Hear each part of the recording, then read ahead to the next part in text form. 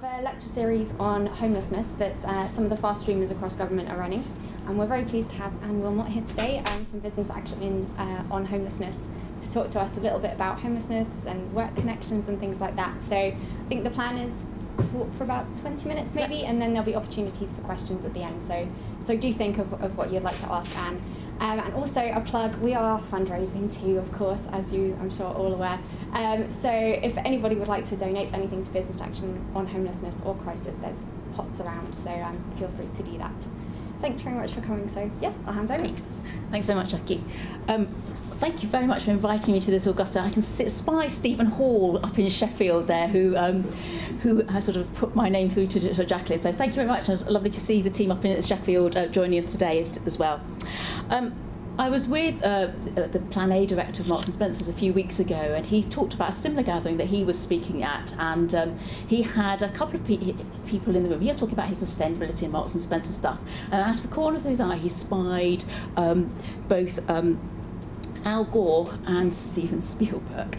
And I have to say, I have a similar sense of trepidation today with the, you know, the sort of calibre of the audience I've got here and the expertise collectively around the room. So um, I look forward to your questions and I, I don't know whether I'll be able to do them justice, but I'll give it, uh, give it a go.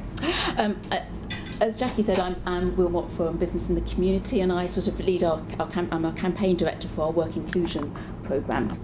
Um, some of you will have heard of Business in the Community. I suspect most of you haven't.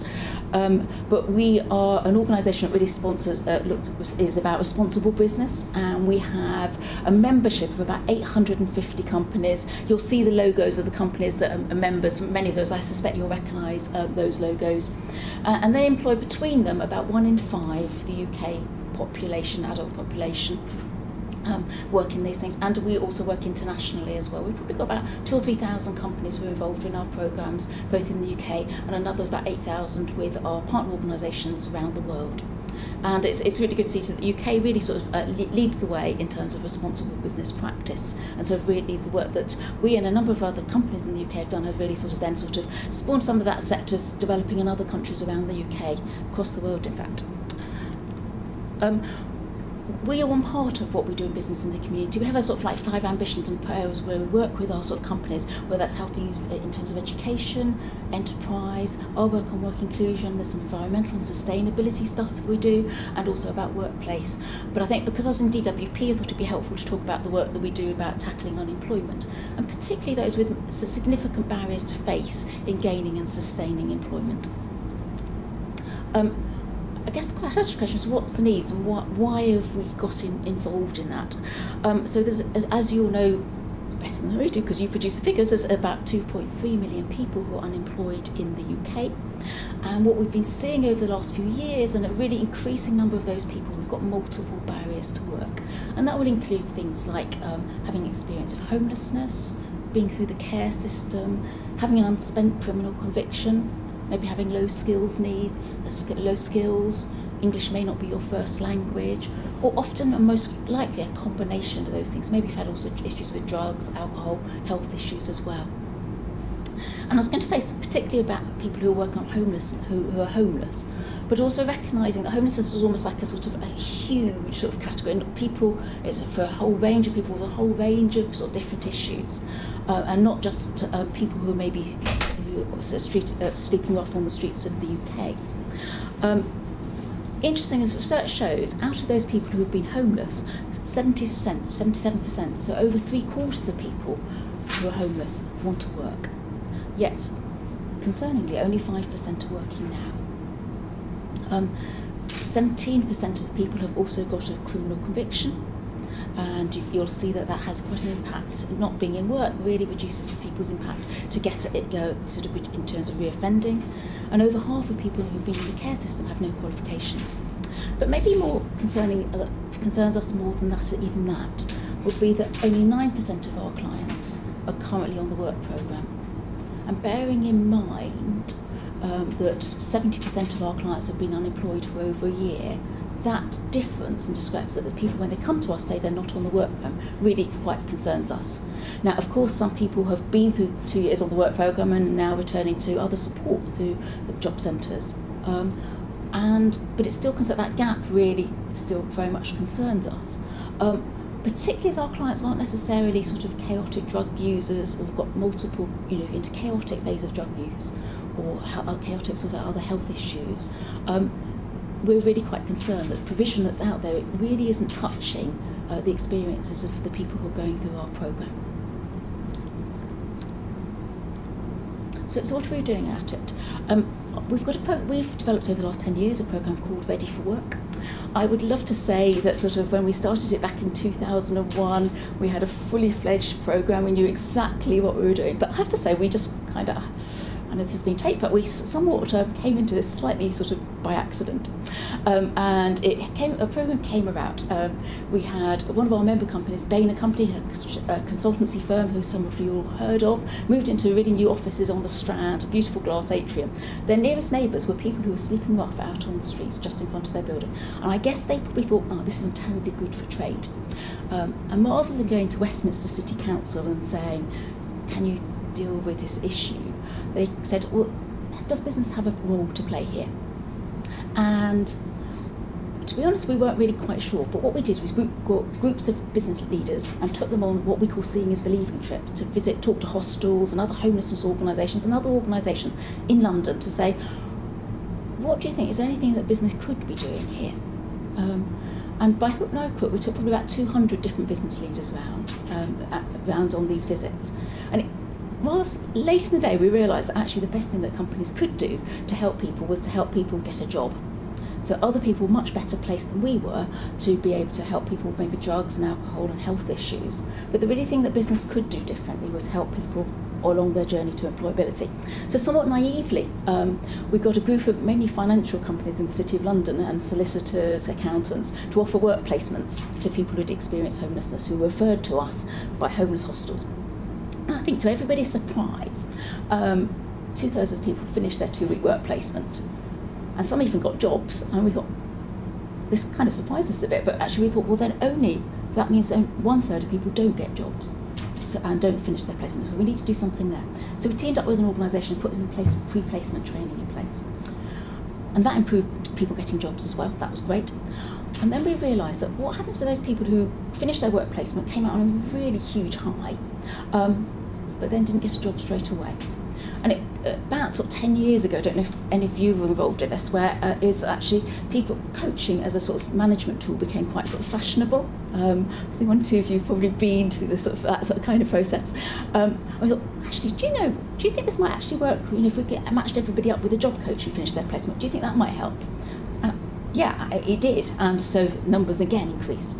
And then uh, Marks and Spencers came along and said, look, it's great you're doing this in London, but we'd like to launch something nationally across the UK. Um, I thought, great, and we want to put 500 people through a year. And this time we were only, this time we were only doing about 50 people in the first year, kind of thing. So, being a charity, you never say never, particularly when someone comes up with a big cash, you know, and wants to do massive more stuff. So we got, you know, and, and we started launching across the UK. Um, fast forward to now, we've now helped 7,700 people through the programme. Uh, we've over 3,000 people have now get jobs, and you'll see that our sustainability work, uh, rates are in terms of what we measure. People getting jobs is pretty good. Although I guess that's something we continually sort of want to work with.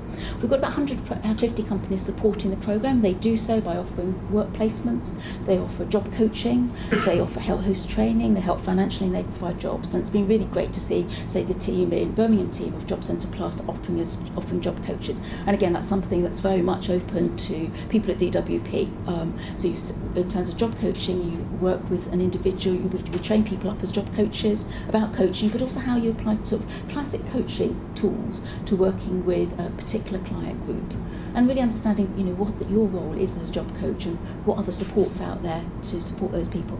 And then we meet up with your job your coachee for period of up to about six months on a weekly basis um, and then help those people really specifically with their work focused stuff like helping get a job. Recognising there's others people out there who can help people with, for example, uh, any sort of housing issues, maybe benefits issues and things, and making sure that people get signposted to the support that's available out there. And we're looking to support about 4,000 people into work by 2016, and we're on track to do that. Uh, we've got 140 of those businesses are actually actively involved in the Ready for Work programme, and we're now operating in 20 cities across the UK. And we really would like to scale that up. Bain and um, Accenture have done some work so we can scale the programme about six times if we had the sort of support in terms of finance and other things to help us to do that. Um, what do our employees say about it? You can see that yes, getting people into work is fantastic, but also there's, there's the reciprocal benefits um, to the companies. And it, this has been really interesting seeing how our volunteers, we've got sort of about 1,800 volunteers who have actually benefited from the programme, how that the skills that they've learned from either hosting a work placement or uh, being on um, being a job coach have really helped people develop quite sort of tangible things which people have then been able to use in terms of their personal and professional development. So that's a little bit about what we do to help people gain and sustain work. Um, the other things, a couple of things I just want to mention as, as part of what we do is great that actually we're sort of helping individuals into work. I'm very conscious compared with the scale of stuff that DWP does, we're really only touching the sides. Um, I would love to see DWP commissioning its programs in a slightly different way. Most of our funding comes from businesses. Um, DCLG has provided funding in the past. We, we've really struggled to get the work program in terms of the contracting arrangements working for us. But probably more than importantly than that is really a number of the companies would really like to scale what they do but they really struggle to uh, interface well with the work programme providers. The fact that you've got 16 sort of contract package areas around the UK, and uh, companies, particularly national employers, want to really engage off the same programme across the UK. So what I would love to see in the design of work pro programme two would be to have some sort of national commissioning of um, charities and companies so that we could actually scale up what we do. Um, and that just sort of kind of makes sense in terms of actually really sort of leveraging in corporate engagement. And I guess why I think that's more important, irrespective of sort of, you, you expect me as a charity to say things like that, see some wry smiles around the room. Um, but why I think it's important is there's just such a huge need for in terms of people to gain and sustain employment. Um, I, if you've seen the from results, we outperform, I think, probably the best work, work programme prime contractor. It feels like a missed opportunity here. We really would like to give the opportunity to our, give the more opportunity for our clients to be able, and the people who are affected by homelessness, to gain and sustain employment. Work is obviously quite transformative catalyst for not just getting work and coming off benefits, but has so many other impacts on people's sort of lives. So that was something. And the other critical thing is, I think, particularly whether the economy is going through, uh, wherever we are in the business cycle, why this is really important is that our clients need to get jobs on their own merits. They don't get special privileges. So we need to persuade employers to employ someone with a background in homelessness who might have a very checkered employment record. Give that a job to somebody above somebody who's currently employed or who has recently been unemployed. So what's the business case for somebody who takes who might be perceived as unreliable, or you know, you know, hasn't got a proven track record, may have sort of lesser sort of educational qualifications, maybe concern people concerns about people's health. What's going to make that company take a risk to employ that individual? And I, I, I think sort of why I think it's important to uh, run programs like this is that actually the best chance an individual has to sort of break coming parachuting themselves to the top of the list is being able to demonstrate their skills and abilities in front of an employer. Because often they'll get you know, screened out at the sort of CV selection stage and won't even make it to interview. So, but if you've had two weeks sitting, you know, working in a team at Marks and Spencers or Royal Mail, Carillion or wherever, and you've proven you've turned up every single day, you've proved you've been a good member of that team and, and, and really contributed to that business, the chances are that you you know that's and you have a certificate that says I've been you know spent two weeks at Marks and Spencers or whatever. That's the thing which is going to sort of move you up the food chain basically and increase your chances of getting a job. So that's why I'm really keen on sort of getting employers involved in programs like this. It's actually critical, not just the success of our program, which is a always going to be relatively small in the scheme of things. But getting em employers involved in what the work the DWP does is absolutely critical, I think, in terms of getting people, more people back into work and fulfilling the strategy that, you know, the DWP's overall uh, social justice and overall strategy. That seems critical um, to me. Um, and then the other thing I'd like to just talk about a little bit is about some of the, as well as helping people into work through programs, I think the other thing is actually sort of, is actually challenging employers about some of the structural barriers that they may put in place, maybe inadvertently, to, that stop people getting work. And I just want to share very briefly about our Ban the Box programme. And this was something that came out from discussions with employers, um, which was saying actually something like about two thirds of employers will, will turn somebody down with an unspent conviction. And that will do that at that recruitment stage. As you'd have, you'd have seen it when you, I guess, when you've been applying for jobs yourselves, where there's a tick. Many employers will put something on their application forms to say, um, "Have you got a, a criminal conviction?" And many of those companies, if you tick that box, yes, will automatically screen you out. And obviously, more, more people in um, recruiting online, often that's just done before anybody's even actually got to, in front of an employer. So what we were saying to employers is, yes, you need to take your appropriate risk management processes and recognising that some roles are regulated and you have to do checks. But actually, think about taking off that default tick box off your application and assessing people on their merit and skills and abilities to be able to do the job first. And then only asking about and making your policies clear about what, what your policy is about taking people on with unspent convictions. Because a lot of people who've been in prison or have got other unspent criminal convictions will actually self select. They won't even apply for a job because they think you might might screen them out. So why why they'll assume you'll screen them out. So we're saying, look, make that decision, but make it be very clear about what your recruitment policy is about people employing people with unspent convictions, and then make that decision later on in the recruitment process once you've seen the had an opportunity to see people and see what they're capable of. And at least that gives then people an opportunity to disclose and disclose in a way that kind of gives the contextual factors, which might have had quite a significant impact in why they did what they did, and also to say what might have changed in the many, often many years since that uh, offence actually happened. So we have we only launched this in the autumn. It's had something like 70,000 additional hits on our website as a result of it, which is quite good when we our overall website only gets sort of 40,000 a month. Uh, we've had our first eight employers, including the likes of Boots, Freshfields, Land Securities, Interserve, who've already banned the box and taken it off their recruitment, which is great. Many, many others who interestingly have done it but don't want to be in the public domain about it, and that's shows there's still some campaigning work to, to do around that agenda. Um, and I'm just wondering, a, a number of government departments here, just, just how, how many of your departments have tick boxes when you apply for civil service, and do people get screened out automatically if they tick that box? It's included sometimes on diversity forms, so it's not used as part of the screening process, so we can monitor it. So uh, positive it. Is that the same across all government departments, or do you each do your own thing? I, my, my challenge was I would love a government department to actually stand up and back ban the box and actually be, join our list of sort of champion companies because and particularly and also both in terms of recruitment but also um, in terms of actually procurement. I know people, the number of people come here uh, in defence procurement in a, one way or another.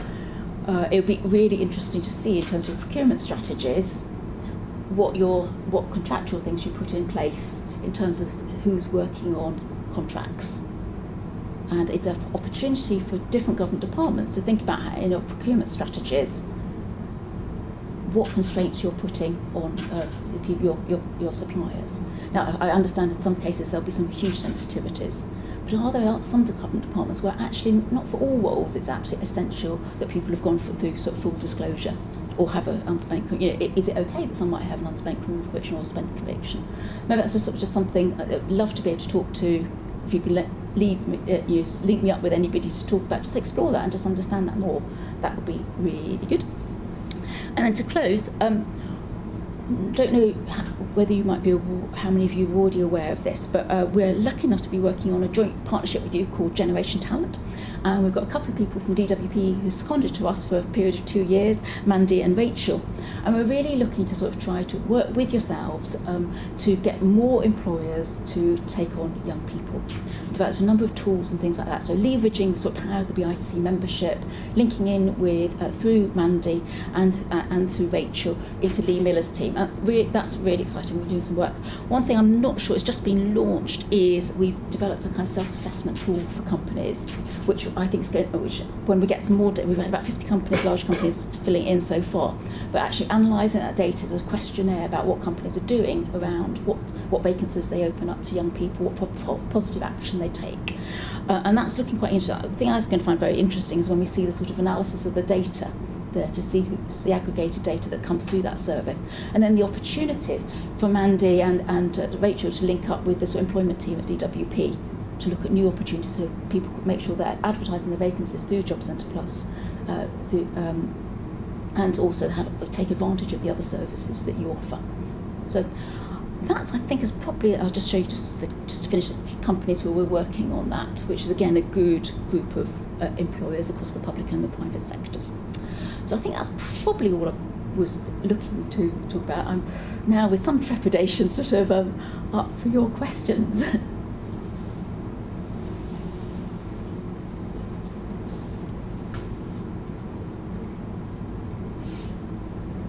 Have you got an office in Dublin? Yes, we have. right? We run uh, Ready for Work in Dublin. Yes. Does that cover, is it the whole of the island of Ireland? or Uh, we is it just the focus mainly in Dublin, actually, Yeah. um, because of sort of concentration of people and also uh, sort of support services there. I'd love to go. We'd uh, love to go wider, sort of to Waterford, sort of um, out west as well. But yes, need some partners and and uh, and support from the sort of uh, Irish government, I think, on that. Yeah. When it comes to convincing businesses to join to join this program, what have you found to be the biggest challenge in in persuading them? What what are they most reluctant about? That's interesting. Um, I think it's changed over the sort of last few years. Um, so currently, often it's not having vacancies. Although that's not been as probably as big a problem as you would expect. Actually, our interwork rates haven't dipped very much at all over the last four or five years. Um, I think the critical thing is about managing the risk and potential risk. Uh, in terms of um, thinking of letting people into their business who might have had criminal convictions or th- they people you know like all of us have got various stereotypes around what somebody who's homeless might be particularly if you haven't worked with homeless people before or who you know people who use drugs and things like that or use drugs or things like that so actually managing the risk and persuading them that we can support them in terms of managing that risk and understanding their business is probably the biggest barrier terms of working with um, homeless clients, how are you going about identifying suitable people for the scheme? Are you going sort of outreach into the hostels themselves? Yeah, yeah, we're really lucky. We've got about 280 homeless projects around the UK in each of our cities, and we try and work with as any organisation where we're based. We, we, you know, we, we, you know, who wants to refer their clients can. We have some referral criteria, um, so people can't self-refer. Uh, we don't take people who sleep are sleeping rough at the moment because people have got more, much more immediate needs to deal with. So we um, have some particular criteria so to suggest that people are kind of ready and able to take on, board this program. So if people have been, for example, a drug user, um, that they've been in treatment on a recognised treatment program for, and that's working okay for the last sort of three months. And we also get their key worker or the support worker to say, both as individuals to sign up, but also their key worker as well say, look, this is the right program. Because the last thing we want people to do is drop out of the program. Most of the people on the program have experienced repeated failure and things in their lives, and we. We know if people fall out, we send their confidence levels back down, not just to when they start us back, or, but, but lower than that, because we just reinforce that cycle of failure. So what we try and do, and it's really the skill of the Ready for Work manager who's on the ground there, the client and also the uh, the key worker to work out is this program is this program right for you right now? If it's not fine go off and do something else for the next few months or whatever delighted for you to come back to us but come back when you're ready. Um, and I guess the thing is we were saying it costs a certain amount of money to put people through this kind of program. Um, so and we're making an investment in people. We think we're doing it because we think you, you this is the right program for you and you think this is the right for- program for you. We want you to succeed. We won't promise you a job, but we want you to. We want to give our best shot to get you through. We want to give the almost like I guess our ethos is really to say, can we give the pastoral support, the quality pastoral support that the voluntary sector its best can do, married with the kind of professionalism uh, of the private sector at its best and the values of the public sector at its best. Can we that create that kind of al- sort of alchemy around the program to, to, with the individual, give people the best opportunity to succeed? Sorry, do you, do you allow re, re-enrollment to the programme? We used to. That's a really interesting question. We, we thought giving people lots of shots at this was actually a really good thing.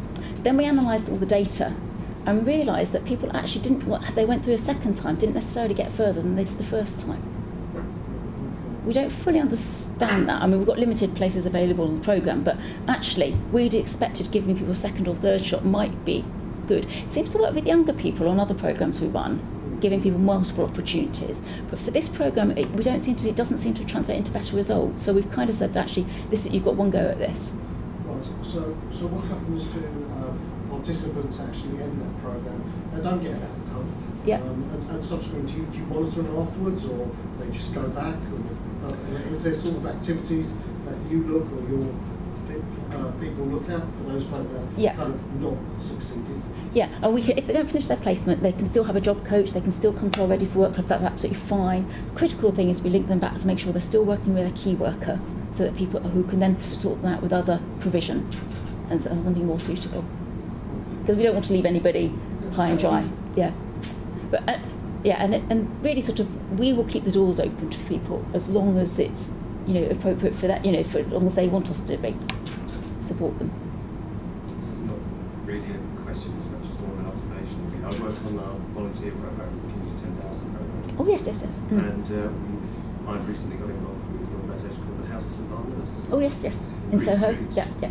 And, and I was just more the fact that I ended up getting involved because they wanted us to run a one-day interview skills workshop. Yes. And it's just about as much as anything rather than just techniques, it's just building up confidence. And what struck me was actually these people that were selected for this program was about eight of them over Yeah. a 12-week period of time, similar to what I guess Yes, you, you, you yeah, the cohorts, yes. More to do with sort of catering, etc. Yeah. But rather than sort of going to McDonald's or whatever, they're actually using their, their, their the building that they've got as a charity. It's a social enterprise, isn't it? Yes. Private, Yeah. private club, members Yes. club, and they're getting their work experience by actually being part of the program, being part of doing the work during the evenings, etc.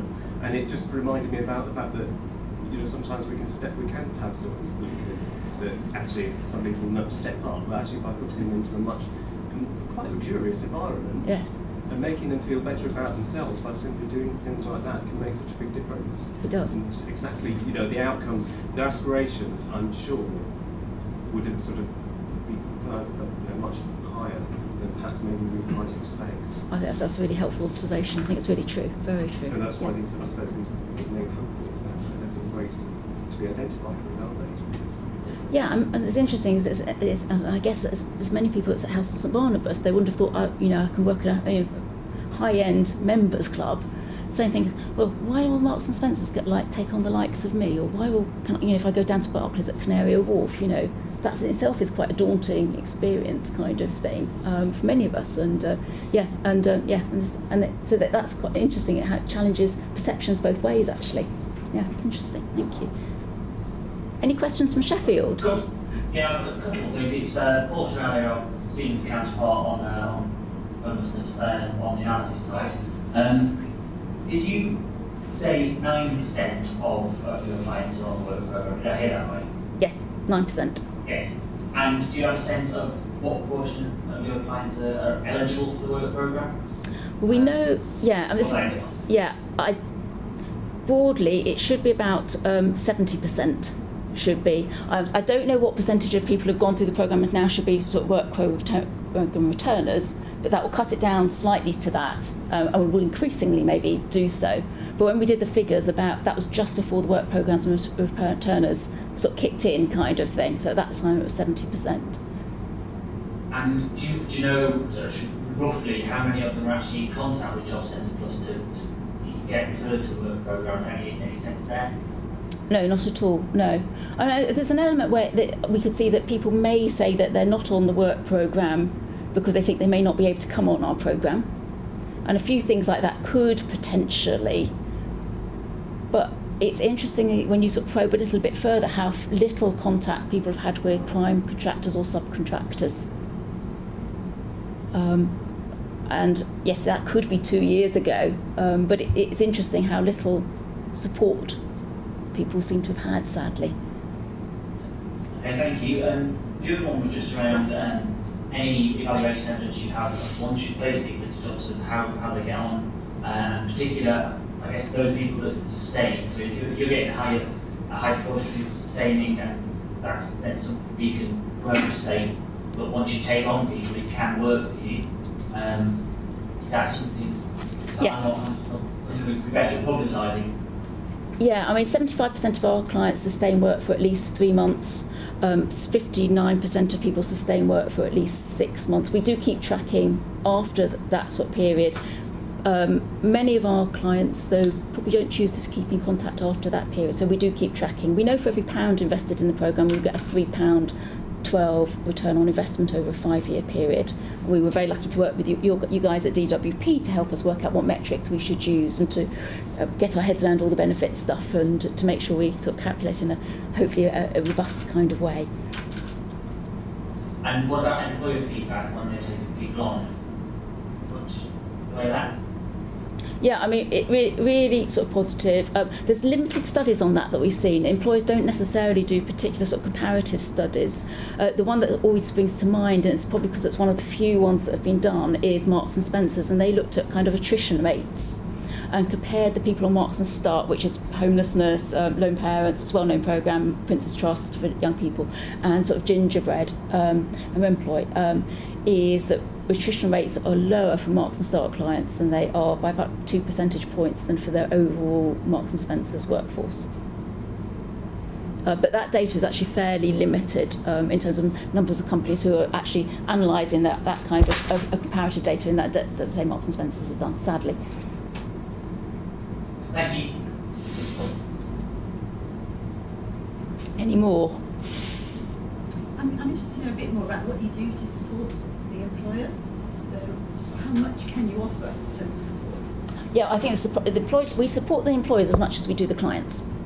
Um, and that's critical in terms of upfront to really understand their business um, and practical things about where it could work and you know how they will be able to support their clients through the program what will work in terms of their business cycles so needless to say with people like Royal Mail Marks and Spencers we try and skew their placements towards sort of July, September, October time because the most peak recruitment.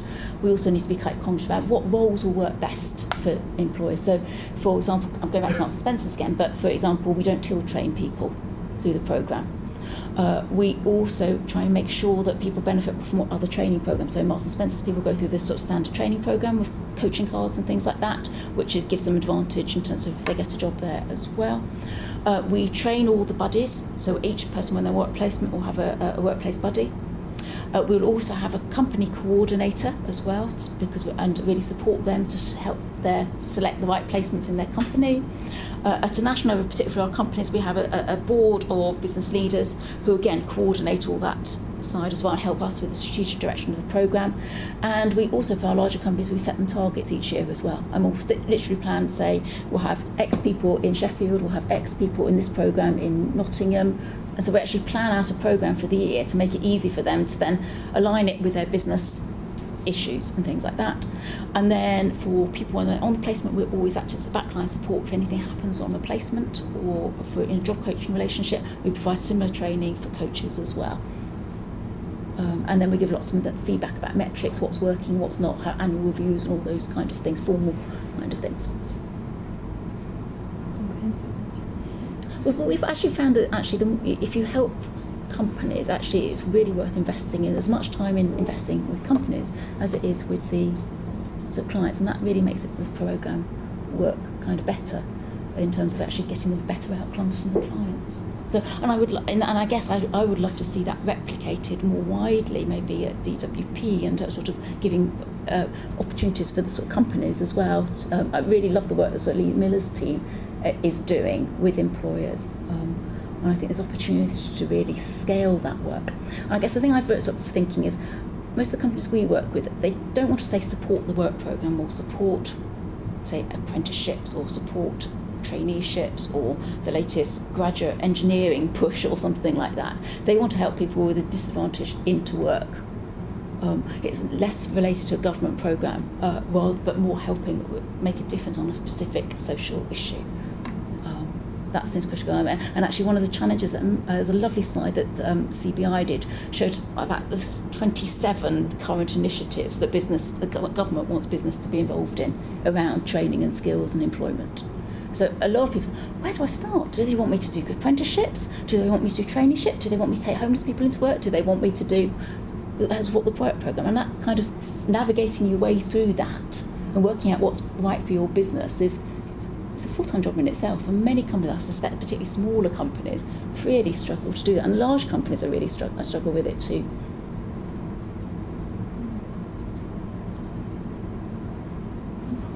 Thank you very much, Anne. Thank you very much for your time and thank you very much for your helpful questions.